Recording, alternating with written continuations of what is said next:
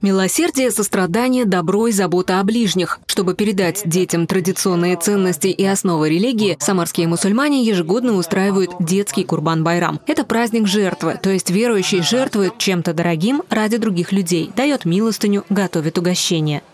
Человек ради Аллаха, ради довольства Аллаха делает благое дело.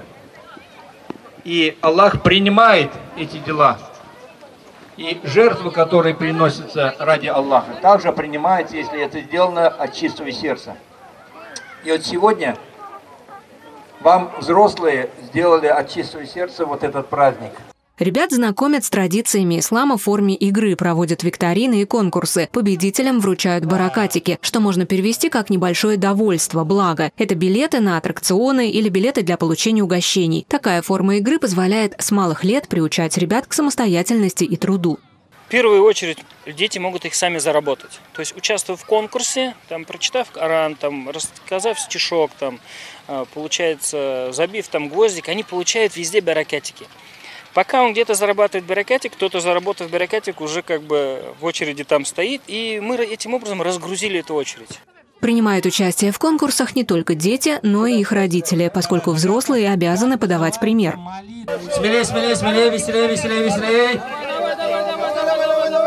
Отдых всей семьей, встречи с друзьями, новые знакомства, единение и уважение друг к другу. Организаторы уверены, что детский Курбан-Байрам запомнится молодому поколению как один из самых светлых и радостных дней в году, наряду с государственными праздниками страны.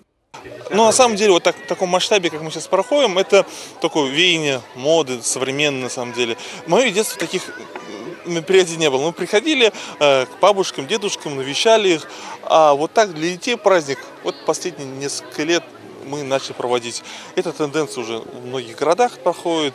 И как бы входит такая в культурный пласт мусульманства. Это семейный праздник, так уютно, атмосферно, так классно.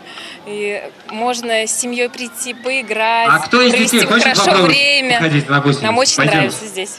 Для детей подготовили игры, аттракционы, мастер-классы, аквагрим, роспись мехенди, а в завершении мероприятия организовали раздачу плова и душистого чая для всех гостей праздника. Организаторами стали региональное духовное управление мусульман Самарской области, неравнодушные предприниматели, ресурсоснабжающие компании при поддержке администрации города в рамках взаимодействия органов местного самоуправления и социально ориентированных некоммерческих организаций. Светлана Кудрявцева, Игорь Казановский. События.